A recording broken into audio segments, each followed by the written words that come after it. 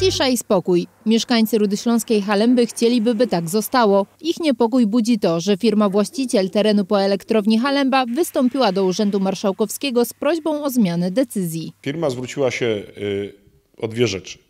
Y, Po pierwsze o zmniejszenie ilości y, tych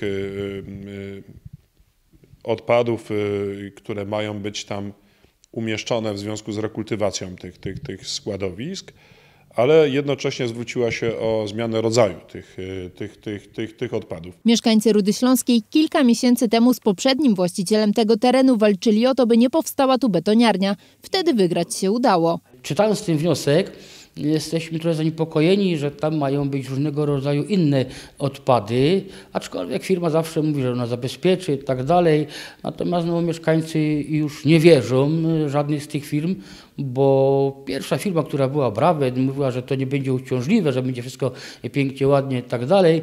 Natomiast, natomiast ja nieraz dzwoniłem do marszałka o to, żeby e, posłał tam kontrolę.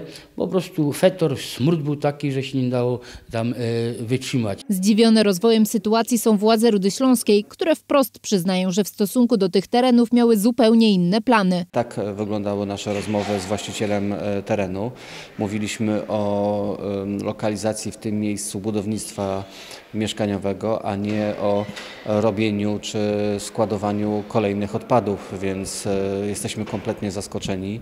Będziemy pewnie żądać informacji od właściciela terenu, o co w tym wszystkim chodzi i zobaczymy co dalej. Nasze stanowisko w tej sprawie jest negatywne. Nie ma naszej zgody na składowanie dodatkowych odpadów. Ostateczna decyzja należy jednak do Urzędu Marszałkowskiego. Ten zastrzega, że decyzja uzależniona jest m.in. od wyników kontroli przeprowadzonej przez Wojewódzki Inspektorat Ochrony Środowiska.